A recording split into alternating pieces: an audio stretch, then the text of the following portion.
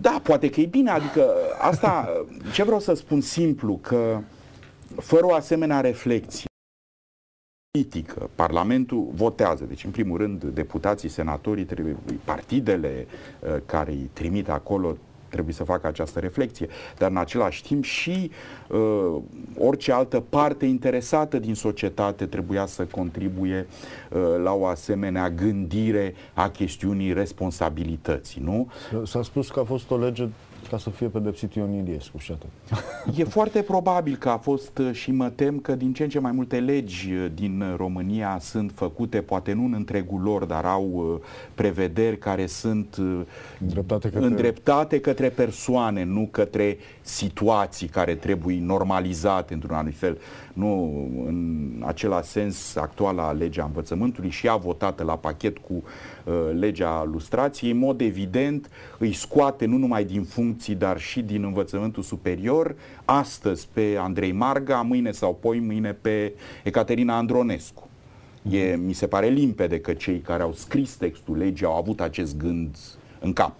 Nu s-au gândit precis la niște persoane care trebuie să dispară pentru că, că... dezbaterile pe lege au fost și însoțite local, acolo în Cluj, de certuri între Marga și unii consilieri de ai lui Boc, adică conflictul personal a fost evident. Exact.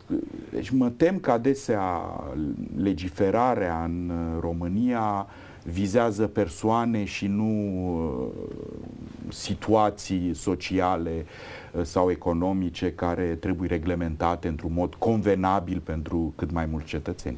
Uh, pentru că ați adus vorba de legea învățământului ce, uh, cum vi s-au părut dezbatele, că totuși, spre deosebire de alte legi, ceva zarv a fost. Deci s-a discutat câteva, nu știu, vreo două, trei luni, chiar s-a discutat despre asta, a revenit așa, la două, trei zile mai venea câte un subiect pe legea învățământului, au, au avut discuțiile astea vreo consistență sau au fost cam inutile? Mie mi s-au, nu știu dacă au fost inutile, au fost relativ marginale atâta cât le-am putut eu urmări, în sensul că mi s-a părut că PSD-ul în principal, dar și PNL-ul într-o oarecare măsură, s-au concentrat în rezistența lor cu privire la lege, uh, pe chestiuni care, fără îndoială, sunt importante, înțeleg sensibilitățile multor concetățeni de-ai noștri, dar nu sunt cele mai importante în confecția unei legi a educației, cum ar fi predarea în limba maternă a geografiei sau istoriei.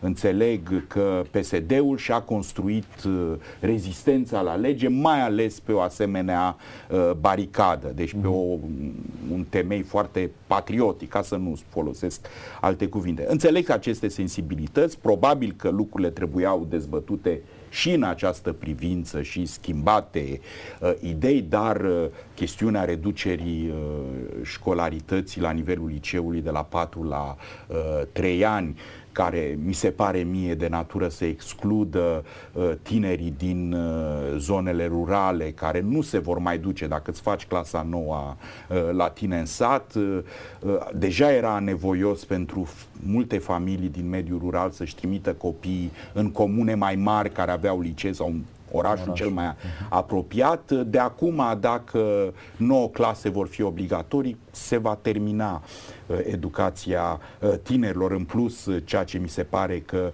uh, observ și am denunțat asta și în trecut, este că acest liceu care devine de 3 ani Uh, nu mai este obligatoriu, ceea ce o excepție în Europa, de regulă în societățile din Uniunea Europeană, tinerii sunt educați până la 18 ani, adică până în ziua în care devin adulți, au drepturi civile, au drepturi politice, îi ții în școală, nu, nu le dai drumul pe piața muncii, pentru că cum vor munci ei dacă nu au drepturi civile cu adevărat, nu pot uh, încheia contracte decât sub tutelă, ce fel de muncă pot presta ei de la 15 la 18 ani, cât le permite inclusiv Constituția, nu numai legea. O muncă fără îndoială dependentă, servilă, care se bazează doar pe bunăvoința angajatorului, nu pe vreun alt uh, criteriu. Deci dacă tot liceul devine opțional, eu mă aștept ca în 2-3 ani uh, cum mi se spune că criza nu, nu va dispărea din orizontul vieții noastre cotidiene și mai ales din orizontul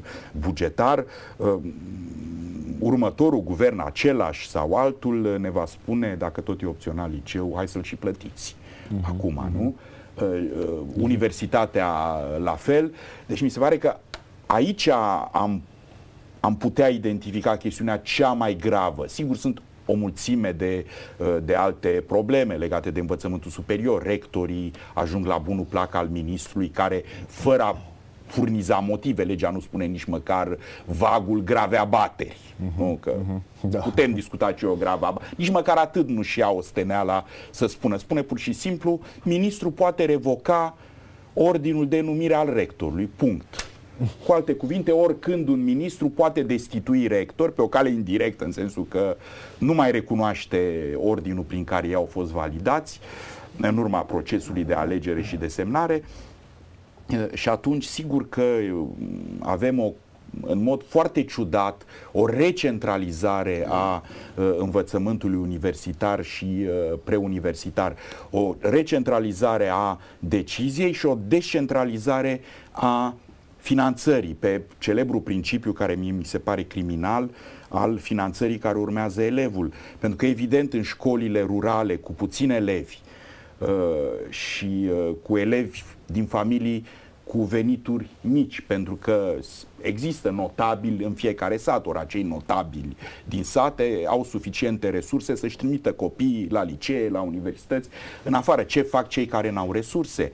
Școlile alea vor fi precare, pentru că vor fi sufinanțate, vor fi puțini elevi, ei nu vor putea să circule, să migreze spre școli mai bune, pentru că nu vor avea uh, mijloace și atunci vor fi încă o dată condamnați la la uh, excludere de la orice fel de carieră nemanuală, nu care să presupună, așa cum se definește Uniunea Europeană ca societatea cunoașterii, mă rog, un soi de nouă limbă de lemn, uh, deprindere analitice și simbolice. Nu? Asta ar trebui să avem noi toți ca cetățeni europeni. Dreptul nostru la deprindere nu? analitice. Trăind în societatea cunoașterii. Ce fel de societate a cunoașterii, ce uh, competențe analitice și simbolice vor avea acești adolescenți din mediul rural? Uh, deci vi se pare legea asta clar un pas către un soi de privatizare a e un superioare. pas destul de clar hotărât către privatizare și ceea ce mă neliniștește cel mai mult este că nu e o operațiune de partid în această privință. În altele este. Chestiunea mm-hmm. rectorilor, în mod evident, actualul partid dominant vrea să controleze conducerile universităților, dar dincolo de aceste detalii, această problemă de substanță care e uh, calea spre privatizarea învățământului liceal și universitar, în pe această cale, cred, vor circula fără probleme de conștiință toate partidele. Nu am mm. citit în uh, programul recent, uh, ieri sau al alter publicat al lui Crin Antonescu, răspuns la uh, programul guvernamental Soluții de ieșire din criză, fraza stimularea privatizării educației, sănătății. Deci, cu alte cuvinte, pare că există un consens Uh, dacă mă gândesc la PSD, mi-amintesc uh, uh, din deformare profesională, am memorie, mi-amintesc că primul politician de vârf care a vorbit de privatizarea universităților și citesc cu precizie, chiar și a liceului, și am închis ghilimelele, a fost în anul 2003 Adrian Năstase în păi, calitate de prim-ministru. Deci vedem PDL, PSD, PNL nu par să fie în dezacord pe această Dar chestiune. Cred că nu e doar o chestiune politică. Nu aveți senzația că aproape uh, o chestie, poate cea mai populară idee în România, asta că privatizarea înseamnă bine. Nu aveți senzația asta? Da, eu am această senzație și sigur ni se spune și aici presa uh, are partea de vină, pentru că într-adevăr ni se spune de poate nu de 20, dar să spun de măcar 15 18, ani, da. Uh, pe cele mai multe canale media, statul cel mai prost gestionar, Așa. numai uh, inițiativa privată produce dezvoltare, creștere economică și așa mai departe. Adică dacă s-ar face un referendum acum, vreți spitale private, vreți școli private, tare mai că oamenii, deși câștigă 800 de lei pe lună, că au ieșit în stradă doar acum câteva zile, vor zice că da. Da, cu condiția Uh, să le, li se explice. A, a, asta ar trebui să fie calea spre referendum, pentru că uh, dincolo de orice considerent uh, de filozofie politică, de viziune asupra societății, ce fel de societate vrem. Eu pot să accept că există societăți în care sistemul de sănătate e privat cu precădere și e foarte performant, nu Statele Unite. Există și spitale publice, dar ele sunt puține, un soi de concesie. Există și mulți lăsați pe din afară. Exact, dar știm toți că cercetarea medicală în Statele Unite e producătoare de premii Nobel, de performanță. Uh-huh. Deci, Putem găsi multe argumente pentru privatizare, numai că atâta timp cât ni se spune că dintre cei 5 milioane de salariați din România, jumătate trăiesc uh, uh, spre salariu minim pe economie, adică 150 de euro, cum ne vom putea imagina că o asemenea societate sau această jumătate a societății noastre va putea avea acces la servicii medicale sau de educație plătite. Poate că Norvegia, unde veniturile familiilor sunt mari, deși acolo nu se vorbește de privatizare educației și a sănătății, ne-am putea o imagina, pentru că oamenii au suficiente resurse pentru a-și plăti. Face pasul. Nu? Ori la noi, cine va putea avea acces la servicii plătite? un segment foarte îngust din societate. Deci, dincolo de orice considerație filozofică de tip dreapta-stânga, să fim, cum e la modă, iar să se spună de vreo 20 de ani în România, să fim pragmatici și să ne gândim privatizăm, dar uh, cine are acces, cine va plăti, cine va susține performanța unor asemenea spitale și școli, pentru că hai să ne uităm la membrii guvernului, cei care au bani, nu-și trimit copiii la școli românești, își trimit copiii la școli din străinătate. Cei care au bani, uh, iarăși ne uităm la partidul de guvernământ și la președinte, se duc și se tratează în spitale de la Viena, nu în spitalele noastre. Deci cei care au foarte mulți bani oricum nu vor participa la bunăstarea spitalelor și școlilor private pentru că ei se vor duce, vor căuta calitate mai mare decât cea ca pe care o poate să o ofere, mă rog, cel puțin în acest crenel cronologic, mm-hmm. sistemul de educație sau cel de, de sănătate românesc, cei care n-au bani nu se vor duce, atunci, de fapt, cine se va duce? Care va fi, îmi cer scuze pentru barbarism, sustenabilitatea economică a unor spitale private.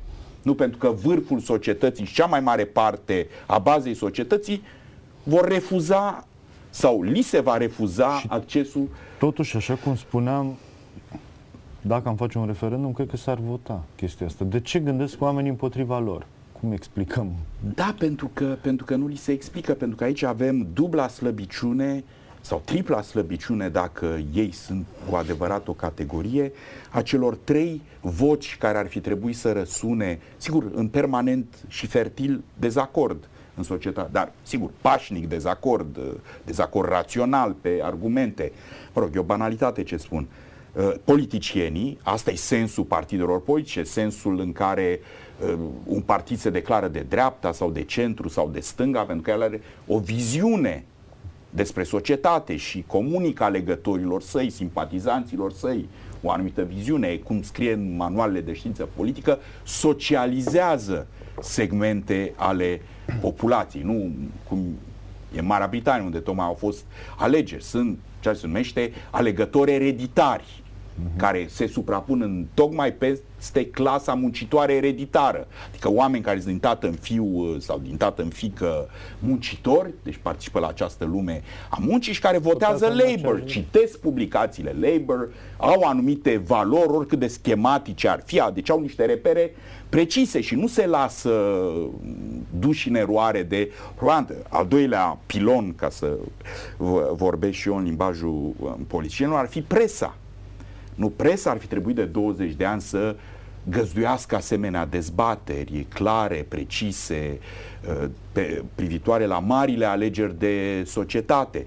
Al treilea pilon Aici am uh, mici dubii că există, pentru că nu există cu adevărat în, nici în societăți mai consolidate democratic decât a noastră sau cu o cultură uh, publică mai veche și mai prestigioasă, ar fi intelectualii publici, nu marile voci uh, ascultate, care nu ocupă funcții nici în politică, nici în stat, nu sunt nici propriu-zis ziariști, uh, dar care, mă rog, transmit o viziune despre societate. Ori la noi, uh, în mod mecanic, s-a transmis uh, relativ constant din toate părțile această idee statul cel mai prost gestionar, sectorul privat e foarte bun, piața. care piață, întreb și eu, pentru că ceea ce mi se pare extraordinar de îngrijorător în, în acest an, dincolo de situația dramatică din punct de vedere uh, financiar și care aparent uh, de luna viitoare va începe să afecteze uh, întreaga populație de pensionari și de, și de salariați în sectorul public, dar nu numai. Uh, dincolo de această chestiune, uh, mi se pare foarte grav că nici politicienii români, nici jurnaliștii, nici uh, intelectualii publici, cât există ei, nu au reflectat asupra crizei ca atare, ce, ce ne învață ea, dincolo de orice altceva. Liberalii continuă să spună, păi statele au fost de vină, piețele sunt bune, ori știm, dacă ne uităm la cifre, nu sunt economist, dar înțeleg și eu, urmărind uh, ce spun oameni mai învățați decât mine în, în analiza economică, că suntem în această situație economică gravă datorită datoriei private a statului, datoria publică a statului. E doar de 23 de miliarde de euro. E infimă în comparație cu alte state europene, nu vreau să vorbesc de Statele Unite. Datoria privată a bugetului este de 60, trei ori mai mare, este de 60. Deci nu includ dobânzile aici și nu includ datoria pe piața internă, ci numai datorile către bănci din afară. Cu alte cuvinte, piața a mers prost în România ultimilor ani, nu sectorul public. Sectorul public a făcut puține datorii, în limite foarte modeste în comparație. Sectorul public a făcut datorii imense. Ce înseamnă asta? Că nu a fost bine condus, oamenii nu au simțit celebra piață, nu că dacă ne uităm pe canalele specializate o să vedem diversi pandiți care ne spun piața crede, piața gândește, piața se teme, piața are de gând să, ca și cum piața ar fi ceva... Un personaj. Un personaj întrupat care reacționează, care are reflexii, raționamente. Ori mie mi se pare că atât pentru cei care se consideră socialiști, cât și pentru cei care se consideră liberali, cât și pentru cei care se consideră conservator de tip democrat creștin sau altfel, popular, cum se spune mai nou, această reflexie asupra ce e piața, care a fost performanța ei, trebuie reglementată, trebuie controlată, mai mult, mai puțin, cum? E principala concluzia crizei, pentru că nu statele s-au prăbușit de data asta, s-au prăbușit marile noduri ale pieței internaționale, începând cu Lehman Brothers, nu? Și s-au prăbușit într-un mod pe care nu l-a prevestit nimeni. Nu toți credeau că piața rezolvă totul. Uh, ori uh, o asemenea reflexie lipsește.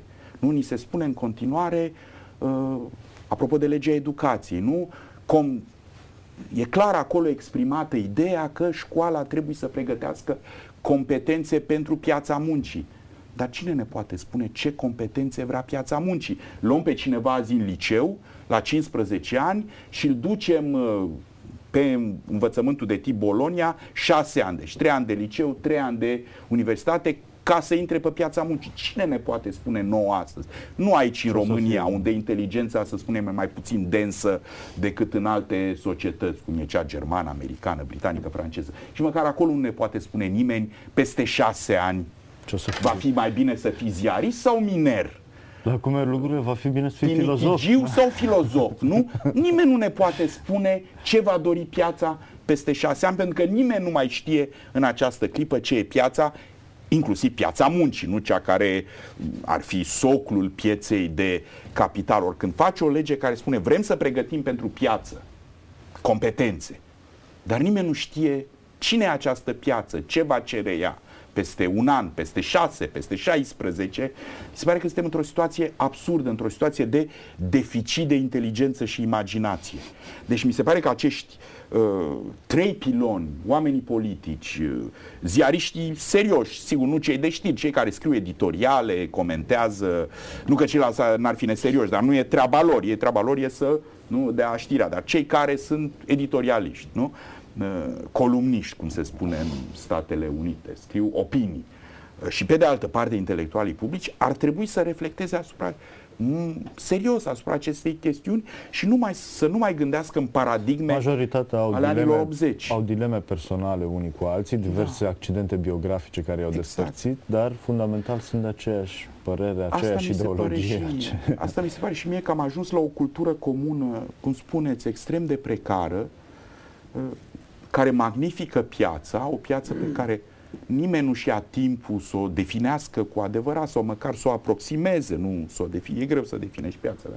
să o aproximezi, nu? Dacă ne uităm, uh, și o să-mi cer scuze pentru această foarte scurtă incursiune, nu dacă ne uităm uh, la primii teoreticieni ai pieței, vedem că ei nici măcar nu sunt economiști, sunt filozofi și găsesc în piață o anumită virtute, nu? Adam Smith, cel care a teoretizat pentru prima oară uh, piața, vedea în ea foarte simplu o, o formă de umanizare a relațiilor dintre oameni, spunând cineva e brutar, altcineva e face pantofi, e cismar, nu? Ei nu se cunosc, n-au niciun fel de relație personală. Piața îi pune în contact, pentru că Ce cismarul frumos. va cumpăra pâine, uh, brutarul trebuie la un moment dat să-și cumpere și pantofi. Nu? Și el vedea în piață un mod de umanizare a raporturilor dintre oameni care nu se cunosc direct. Mai este piața astăzi, în anul 2010, mai ales după catastrofa ultimilor doi ani, așa ceva, un mod de umanizare pozitivă a raporturilor dintre oameni? Nu cred. Nu cred. Ce este atunci, dincolo de modelele matematice pe care le furnizează economiștii, dincolo de aceste modele, uh, ce este piața? Vreau să vă atrag atenția că ultimul premiu Nobel pe economie, cel de anul trecut, e foarte atipic, e acordat că, către doi economiști, un american și cred că un german, care uh, scriu despre economia comunitară, despre modul în care piața ar trebui să se supună și să se lase domesticită de mediu, de păduri, de râuri, de, de spațiul în care trăim, nu să brutalizeze acest spațiu și să-l absoarbă ca resursă de piață, nu? ci din potrivă să-și organizeze activitatea în funcție de acest dat care trebuie prezervat. Deci vedem chiar în da, asta s-a întâmplat datorită crizei, pentru că probabil uh, cei doi profesori n-ar fi luat premiul Nobel dacă n-ar fi căzut Lehman Pe Brothers. De, de câte ori criză mai ia câte un Krugman, câte un Stiglitz. Exact. nu, de, a, Asta mi se, pare, mi se pare interesant și oarecum urgent în, în, în, la noi. Uh, ar trebui, nu știu cum, cum spuneți, din păcate la noi viața publică, inclusiv viața politică, adică raporturile dintre politicieni, uh, sunt adesea strict personale, pentru că uh, cu puțină maliție o spun și mi se pare că e situația foarte caragioasă într-un fel cei doi oameni care mi se pare gândesc în această clipă la fel despre cum trebuie să evolueze statul, societatea românească, sunt doi oameni care altfel se detestă cu ură. E vorba de Dinu Patriciu și Traian Băsescu. Nu, dacă îi asculți pe fiecare în parte, iau exact aceeași viziune. Deci, în condiții de raționalitate, ea ar trebui să conlucreze acum, nu? La această uh, reducerea statului, nu a omului gras, cum spune Trean Băsescu, nu? Spune și din Patriciu de ani de zile același lucru. Stat mic, modest, 15% din PIB, medie europeană de 46% din PIB. Deci și unul și altul, sigur, Dinu Patriciu e un cetățean privat care are dreptul să spună orice fel de opinii pentru că nu se pune problema să le investească în politici sau acte legislative. E mai grav la domnul Traian Băsescu, care e șeful statului și șeful informal al partidului de guvernământ, deci ne așteptăm ca gândurile lui să se transforme în legi și în ordonanțe și în hotărâri de guvern. Nu? Ei pun în uh, el, să mă refer numai la cel care are puterea să pună ceva în operă, uh, pun în discuție pe de altă parte chiar apartenența noastră la Uniunea Europeană, pentru că, repet, media cheltuielor bugetare din produsul intern brut în Uniunea Europeană este de 46%. Deci aproape jumătate din ceea ce produce o economie Merge. e recuperată în bugetul uh, statelor membre și retrimisă către societate sub forma de servicii, de ordine publică, administrarea dreptății, da, vedeți, sănătate, educație. Domnule... Ori la noi 15%, numai o țară europeană, eu nu zic că e un model viabil sau nu, Deci nu sunt, nu, mă, nu îndrăznesc să intru într-o polemică de fond cu președintele Băsescu. Observ pur și simplu că un asemenea model impune retragerea României din Uniunea Europeană. Și asocierea ei, nu știu, cu Ucraina, Rusia, Kazakhstan, Azerbaijan, țări care fac astfel de bugete nu? și care se declară neoliberale prin definiție, țări în care oligarhiile uh, triumfă datorită cotelor unice foarte uh, mici, care profită cu precădere a ceea ce se numește acum internațional, mă rog, big business, nu? Deci nu oameni mediu de afaceri, cum se spune la noi. Nu există un mediu de afaceri. Există big business, mari întreprinzători și există Puticari, da. da, mici întreprinzători care supraviețuiesc uh, adesea nu mai bine decât uh, salariații. E foarte interesant că o să vă completez aici apropo de uh, cât se colectează din cât se duce din PIB înapoi. Uh, domnul Croitoru spunea aseară, de la Banca Națională, spunea aseară că orice formă s-a încercat în România de colectare, mai mult de 31% nu s-a putut. Deci 31% este un fel de limita României în ce privește cotizația. Mintea, spunea el, de dreptul filozofic, mintea românului se oprește la 31%. Nu, nu e încredere în stat, nu se cotizează mai mult, se intră imediat în, eco- în economia neagră dacă se încearcă o... Mă rog, interesant. Dan, ce discuție e pe net? Ce vorbesc cu oamenii pe acolo? Sunt destul de multe întrebări și, cum spuneam mai devreme, Păi hai să le auzim. Un, Laurențiu vă întreabă, și vă transmite, că în Constituție se scrie, uh, drept, se vorbește de dreptul la sănătate garantat de stat. Și totuși la noi se depun dosare pentru tratamente pentru cancer. Dosare care pot fi respinse de o comisie administrativă. Cât de constituțional este această procedură instituțională a dosarelor cu cerere pentru tratamente anticancer? Evident că nu e constituțională, dar vedeți, uh, Constituția României face parte dintr-un număr de Constituții care au asemenea prevederi putative și prevederi care nu te aștepți uh, să fie puse în practică. Dreptul la un trai decent. Ce înseamnă un trai decent și cum guvernul va asigura un trai decent? Se întâmplă în anumite țări, din păcate încă nu la noi, și uh, îi semnalez uh, celui care ne, ne privește și ne scrie că uh, există calea justiției care dă uneori roade inclusiv în, uh, în România. Uh, vă dau acest exemplu francez. Uh, în Constituția celei de-a cincea Republici e formulat dreptul la locuință.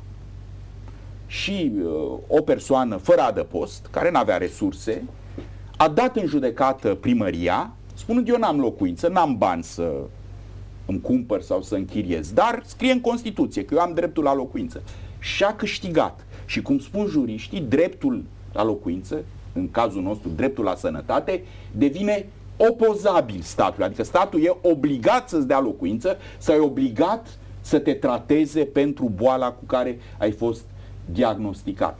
Toate statele, și vedeți, inclusiv în cazul francez, încearcă să se sustragă când e vorba de asemenea prevederi uh, Uh, generale. Când filozofia coboară în stradă, așa. Ei, dar se poate întâmpla și uh, justiția noastră, dacă țineți minte, în chestiunea taxei auto, a funcționat da. foarte bine. Acum, în chestiunea sal, drepturilor salariale, adesea curțile de justiție din România, judecătorii tribunale, răspund acestor cetățeni care sezizează inconstituționalit- neconstituționalitatea unor practici ale diferitelor administrații publice, cum în cazul nostru administrația sistemului de sănătate.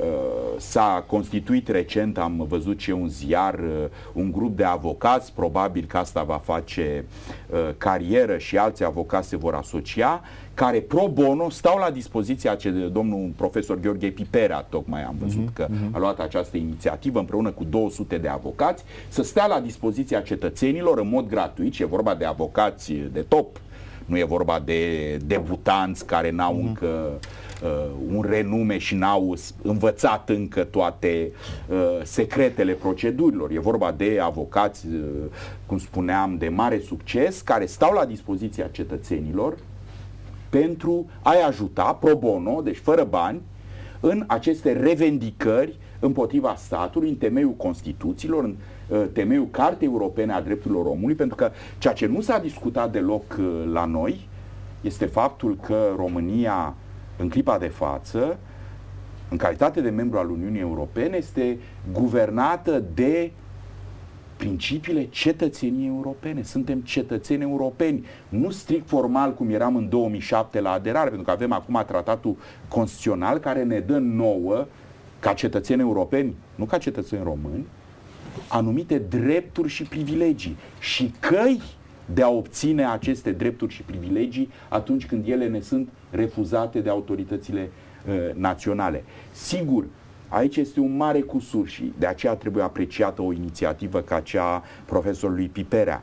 Uh, e o celebră carte a unui jurist american foarte, foarte cunoscut, Kes uh, Sunstein, care se numește Costul drepturilor. Vedeți, societățile foarte democratice uh, și în care drepturile sunt privilegiate și care sunt organizate în jurul drepturilor și libertăților individuale, consumă foarte mulți bani pentru garantarea acestor drepturi. Deci societățile sărace sunt în regulă societăți fără drepturi. Nu pentru că n-ar vrea cineva neapărat sau că societățile sărace n-ar avea sensibilitate, chiar dacă ar avea și chiar dacă ar fi bunăvoință, inclusiv în elita politică, ca să-ți revendici un drept, să-l obții, te duci în justiție, asta costă bani, chiar dacă avocatul te asistă pro bono, sunt alte cheltuieli de expertiză. Uh, deci numai societățile care sunt dispuse, deci dincolo de educație și de sănătate, vorba de drepturile noastre și ca atare. Bani, da. Drepturile, e un paradox puțin amar, dar trebuie să fim conștienți. Și nimeni nu ne-a explicat 20 de ani în mod răspicat, nu și foarte public. Drepturile costă bani. Dacă vrem o societate a libertăților, a calității uh, uh, drepturilor de care fiecare dintre noi se bucură, trebuie să investim foarte mulți bani. Avem nevoie de multe curs de justiție, de mulți judecători, de mulți procurori, de mulți avocați, uh, de mulți experți care să ne ajute în obținerea acestor drepturi sau în protestul pe care îl facem atunci când drepturile ne sunt încălcate sau uh, refuzate. Nu, administrarea justiției și a drept, dreptății și drepturilor e un pilon la fel de important în economia un, bugetului unei țări democratice ca și sistemul de educație uh, sau de sănătate. Săracii n-au drepturi ca să uh, sintetizez. Nu, paradoxul este că numai bogații au drepturi. Nu, în Statele Unite e înțelepciunea asta puțin amară a societății că un bogat va scăpa întotdeauna dacă face un delict pentru că își va putea permite un avocat un avocat. O întreagă echipă de super avocați care, profitând de uh, proverbul, meandrele legii. Proverbul chiar a trecut în zona sportivă acum, de când cu Kobe Bryant, cu toți sportivii care au tot făcut violuri, crime și tot scapă în Van der să spune că un sportiv mare scapă întotdeauna. Exact, dar dincolo de această, să spunem, amărăciune pe care poți să o ai, rămâne această observație uh, și amară că uh, săracii n-au drepturi, numai bogații au. Și statele sunt obligate să ne facă bogați pe linia să drepturilor. Ne de ele. Ca să ne pune, putem, e un paradox, ca să ne putem apăra de stat, statul trebuie să investească bani. Avem o economie structural subdezvoltată și o societate în proporție de 40% rurală. Putem avea altfel de partide politice cu astfel de societate și cu astfel de economie? Probabil că nu. Cel care scrie are fără îndoială dreptate. Statul nostru e acuzat și e drept să fie acuzat că e un stat slab. Trebuie să adăugăm și societatea noastră e slabă, e o societate nestructurată, nu vedem din când în când, dar foarte rar, știu, sindicatele mai izbutesc să organizeze câte ceva și pare că... Cu bugetari cu bugetar. Pentru că în zona privată e destul de slabă. Dar uh, uh, toate instanțele care ar trebui și care în alte țări structurează societatea, nu bisericile, eu sunt puțin neliniștit de faptul că, cu excepția Arhiepiscopiei Catolice de București, care a protestat cu privire la tăierea indemnizației pentru creșterea uh, copiilor, biserica majoritară, biserica ortodoxă, tace. E totuși o situație dramatică pentru credincioșii ei. De ce tace? Nu, n-are nicio, numai că tace, dar înțeleg de pe fluxul de știri că săptămâna trecută s-a obținut chiar o creștere a salariilor patriarhului, mitropoliților uh, și așa mai departe, continuarea șantierilor de biserici. Dar biserica e doar o parte a societății civile, sindicatele, patronatele, nu? Patronatele în alte țări, Franța, Italia, Germania, Uh, sunt instituții foarte serioase, responsabile, care dialoguează cu sindicate, cu guvern, au părere, au expertiză. La noi, dacă nu greșesc, există vreo 18 asociații uh, patronale care se detestă unele pe altele, nu colaborează unele, de unele fantomatice, cu altele. Da. Uh, ceea ce se numește oarecum generic la noi societate civilă sunt un fel de cooperative care funcționează pe bani străini. Păi aici vreau să ajung că eu cred am văzut cu toții, cred că ultimele alegeri au reușit să mai anihileze o parte din ce se numea intelectualul public. Adică mi se pare că, sau asta e întrebarea, vi se pare că stă mai prost cu intelectualul public decât în 90? Acum? Într-un fel, da, în sensul că avem acest proces uh, care a început cu anumite lentoare în urmă cu 4-5 ani de raliere a intelectualilor publici într-o tabără mm. și de, ca să spun așa, sinucidere colectivă într-un anumit fel, simbolică, în măsura în care mi se pare mie pe definiția uh, pe care eu o practic a intelectualului public, intelectualul public nu e intelectual sau nu-și merită acest uh, apelativ uh, dacă nu e critic. Dacă nu e mai mult decât critic, autocritic, deci intelectualul e capabil să fie critic inclusiv față de propriile sale poziții. Cu alte cuvinte, intelectualul care se ia pe el însuși prea în serios devine, devine un soi de ideolog, nu uh, devine Jdanov. Nu, sau Lenin. Lenin, înainte de a fi șeful uh, uh, Uniunii Sovietice, era un intelectual, nu? Era un filozof privat care scria, conducea o revistă, iskra și, mă rog, încerca să spună părerea. Dar se lua mult prea în serios, nu? E exemplu intelectualului uh, Uh, care are spirit critic față de toți ceilalți, dar nu față de el însuși. Ora, mi se pare mie că adevăratul intelectual public și avem uh, nu, în zona noastră de lume figuri exemplare, răposatul Geremek, Václav Havel, deci oameni care au autoironie, care uh, știu să spună și eu greșesc. Eu am o părere, nu? Uh, bazată pe experiența mea morală și intelectuală. Vă întreb, cum a trecut Traian Băsescu de la și eu sunt comunist în 2005 cu Năstase, o replică care mulți spun că i-a adus voturi decisive. Uh, cum a trecut în numai 5 ani la un anticomunism furibun, cu instituție anticomunistă, cu tot ce trebuie? Uh, tehnic vorbind... Deci prin... era autocritic atunci, respecta măcar... Da, da, da, da. Uh, tehnic vorbind, prin accident. Părerea mea este, uitându-mă ca istoric la fapte, la elementele documentare pe care le putem studia, că dacă primul ministru de atunci, în momentul în care se despărțea politic, moral, de Traian Băsescu, nu? Mm. Deci, perioada uh, 2006. Dacă primul ministru de atunci, Călim Popescu Tăricianu, la sfatul lui Marius Sopre, nu ar fi înființat Institutul pentru Studierea Crimelor Comunismului, pe lângă guvern, nu? Ideea era, sigur, ideea lui Mario Soprea ca cercetător era și, care, și un om care investește multă pasiune în, în chestiunea studierii comunismului, era cea de a studia comunismul, dar în același timp părea o idee foarte bună pentru că îi dădea lui Călin Tăricianu uh, prioritate în chestiunea ideologică a gestiunii memoriei comunismului, atâta timp cât dacă țineți minte, împins în anul 2005 să se exprime cu privire la comunism,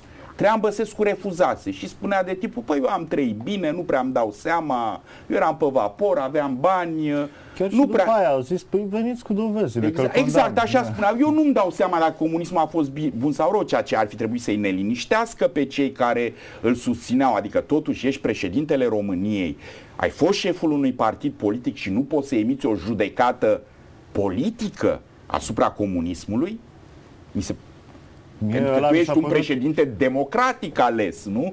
E, un atu ăsta, era autocritică, știa că și el a făcut parte din sistem. Nu? Da, oricum, deci atâta timp cât părea în anul 2005 că Traian Băsescu a spus nu prea sunt interesat de chestiunea comunismului, nu prea mă dumiresc cum a fost cu el, eu m-am descurcat mai degrabă bine. Știu că mulți au suferit, că era fric prin case. Deci comunismul cam atât era pentru Traian Băsescu, că știa el că pe la unii prin case era frig. Guvernul liberal, nu condus de liberali, a luat această măsură în ideea că liberalii vor deveni patronii chestiunii comunismului în opoziție cu post sau ex-comunismul care se manifestă și atunci, dacă nu greșesc, un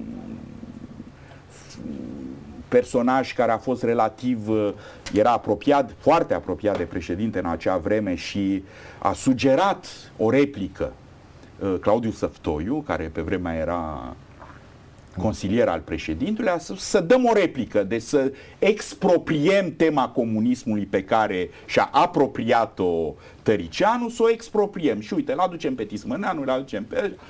Adunăm toți intelectualii, facem o mare comisie, un raport. Deci istoria ne spune că e vorba de un accident. Nu, da, dacă ne uităm cu precizie la cum s-au desfășurat evenimentele în cursul anilor 2005 2006. Aș reveni totuși la tema intelectualului public și v-aș întreba totuși care e reacția ideală a intelectualului cu partidele. Asta vine și un prieten chiar m-a rugat înainte pe Messenger să vă întreb cum, uh, cum vi s-a părut experiența cu scrierea unui program pentru un partid, pentru o forță politică, Forța Democrată și cum a fost asta uh, uh, pentru dumneavoastră, dacă ați mai face-o, dacă acum vedeți altfel raportul cu Am o forță politică? E o, e o întrebare foarte bună. Aici nu e, nu, nu e o unanimitate mai nou în sociologia câmpului intelectual. Chiar și intelectualii care sunt în partide se consideră că își păstrează statutul de intelectual. Eu uh, eram mai degrabă înclinat, sigur, pe o reflexie mai veche, care nu e neapărat a mea, e bazată pe lectura unor oameni mai deștepți decât mine, unor uh, cercetători sau personalități. Eram înclinat să spun cine intră în politică partizană, nu mai intelectual, devine un politician, nu prin definiție, e puțin altă... Me- Sigur, sunt multe lucruri comune, că poți să ai politicieni care scriu programe, nu? David mhm. Cameron a actualul prim-ministru britanic și a început cariera în uh, Partidul Conservator ca responsabil pentru politici. Deci era cel care aduna de la diversi membri instituții și scria programe. Deci poate să fie o activitate intelectuală foarte intensă în partida. Meseria ta e de politician, nu mai ești intelectual public, deci nu mai ai distanța critică pe care trebuie să o păstrezi. Deci eu în clipa când am fost rugat să am o viziune despre societatea românească, cum ar trebui să arate ea pentru un partid care până la urmă s-a dovedit a fi foarte marginal și uh, efemer, nu m-am mai considerat în clipa intelectuală. Am spus eu acum încerc să furnizez unor politicieni o anumită viziune și dacă ei vor avea succes, uh, mă rog, probabil că și eu voi avea o carieră politică împreună cu ei și atunci nu voi mai avea dreptul să mă uh, mhm. pronunț asupra unor lucruri decât în calitatea mea de membru, dacă ar fi urmat să devin al unui partid care are și el un loc, uh, sigur, nu făceam iluzii, mic, mă rog, n-a avut nici măcar un loc mic în exper- experiența la care se referă cel care v-a pus întrebarea. Deși, repet, mai nou, văd citind uh, studii pe această cale, că se consideră că există și posibilitatea de a-ți păstra identitatea intelectuală făcând în același timp politică partizană. Uh-huh. Pe, o, uh, pe o reflexie mai veche, în general, pe care eu încă o urmez, aș separa. Deci aș considera că cineva care intră într-un partid Uh, și vorbește numele acelui partid, chiar dacă o face foarte riguros, uh, cu precizie, cu viziune, cu idei proaspete, nu mai e un intelectual, ci e un doctrinar de partid, să spunem. Rog, se pare că totuși spiritul critic, e, uh, cel puțin experiența recentă din PDL, i-a izolat pe unii foști intelectuali, na, dacă ar fi să, cum ar fi, nu știu, Preda, Sever Voinescu, Macovei chiar, Monica Macovei, e izolat de restul partidului. Sau vi se pare că nu? Vi se pare că ei în continuare sunt... Acum nu, mi se pare că e o izolare relativă, pentru că mă uit pe de o parte la Sever Voinescu, uh, foarte simpatic de altfel, și văd că e în continuare purtător de cuvânt al partidului, ceea ce nu e o dovadă de izolare, nu? Uh, n-a fost rugat să-și dea demisia din Parlament, n-a fost exclus din partid, uh, din potrivă, el e cel deci care... a fost atât de vehement critic... Uh, poartă cuvântul partidului, dacă mă uit la modul în care votează Cristian Preda în Parlamentul European, văd că este un deputat extrem de disciplinat, nu are nicio abatere de la modul în care votează propriului grup în cadrul uh, Partidului Popular European. Doamna Monica Macovei, pe care a priori eu nu apreciez, mi se pare că uh, are o înțelegere complet greșită a chestiunii corupției, reformei justiției, dar am apreciat-o pentru că ea este într-adevăr un parlamentar european PDL care s-a distanțat și adesea nu a votat ca mm propriul ei grup. Deci e cineva care ne arată pe date, nu? Deci pe documente, nu pe declarații, pe bloguri, presă, care după părerea mea nu prea au valoare. Uh, ne uităm la fapte și la acele tipuri de fapte care pot fi consemnate în documente. Văd, surprinzător pentru mine, repet, e o persoană pe care nu o apreciez, uh, dar uh, a, acum, mă rog, sunt nevoit să admit cu oarecare admirație că nu urmează linia partidului. Are păreri personale. Nu știu dacă e în opoziție față de conducerea, că nu știu ce se discută în Partidul Democrat Liberal, dar constat că există un deputat european al Partidului Democrat Liberal care își urmează, cum spune fraza din Constituție, propria conștiință.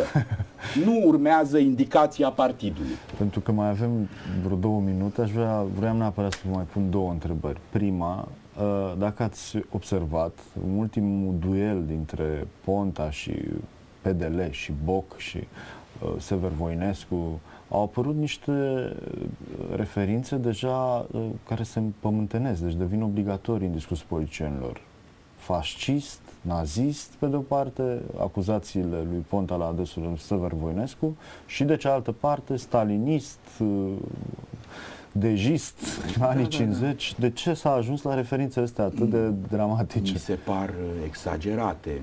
Nici Trean Băsescu și PDL-ul, după părerea mea, nu pot fi suspectați de intenția de a fasciza România. Asta clar, dar de ce ajung să facă asta? E o simplă retorică comodă mm. atunci când nu ai mari idei și când nu știi ce să spui, arunci vorbe care, sigur, pot să se ancoreze în imaginarul unor părți din societate, dar care, până la urmă, n-au niciun sens, pentru că nici uh, pedeliștii nu sunt fasciști, nici Victor Ponta și pesediștii nu sunt bolșevici. De ce mai mult lipsă de educație politică decât... Uh, nu, este un mod de a utiliza un... E ca și cum, uh, ca să zic așa, nu mai ai bani, să-ți cumperi haine noi și te duci și te apuci să-ți încropești din ce ai găsit în dulap de când aveai 15 ani, te diverse tricouri, diverse, nu, te mai îmbraci de în uniformă și apar, arăți cam caragios așa, dar oamenii vor recunoaște, a, uite, o uniformă de liceu de pe vremea când eram eu. Cam așa fac și unii și alții, nu scot de prin dulapuri uh, lucruri vechi, lucruri recunoscibile, toți știm ce a bolșevic e rău, ce a fascist e rău, și ne aruncăm vorbe din astea care n-au niciun sens și care ne împiedică până la urmă să înțelegem, pentru că sunt de acord că actualul regim politic din România nu este pe de-a întregul democratic, după nicio definiție pe care o putem da a democrației, dar exact de ce nu e și cum nu e, nu rezolvăm uh, calificând uh, partidul drept fascizant, pentru că nu este, ci încercând cu mai multă finețe să vedem ce tip de situație politică avem în România ca să înțelegem de ce nu e întru totul democratică, unde sunt uh-huh. fisurile și așa mai departe. Uh, și o întrebare pe care o adresăm tuturor invitațiilor în încheiere. O să vă rog să faceți două recomandări scurte, nu știu, unul de lectură pentru cititorii, pentru telespectatori și unul de ieșit în oraș undeva, nu știu, la un film, la o piesă, dacă...